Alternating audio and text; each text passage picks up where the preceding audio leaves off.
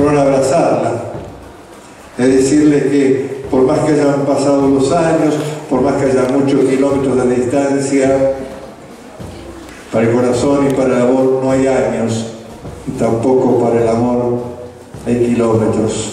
Mamá, te queremos, mamá, te extrañamos, mamá, te queremos llevar a casa. Y como queremos llevar a casa, lo vamos a hacer. Y te traemos a este lugar.